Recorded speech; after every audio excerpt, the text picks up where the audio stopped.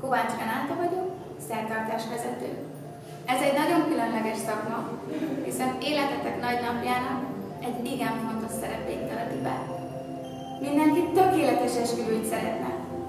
De mit is jelent ez? Számomra az, hogy mindent megteszek azért, hogy azt a különleges érzést, ami köztetek van, és amit olyan nehéz szavakba ölteni, leírjam helyettetek. A saját kis csodátokból kap egy kis ízelítő töltékség.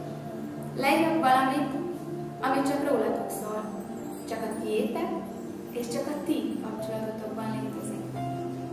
Valamit, amit ketten együtt hoztatok létre. Valamit, ami láthatatlan, és kézzel nem lehet megfogni sem. Mégis létezik. Ha szerettél már, tudod, hogy minden szeretet más és más.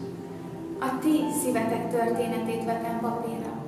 Leírom azokat az érzéseket, amelyek bennem kavarodnak, miközben a kapcsolatotokról meséltem.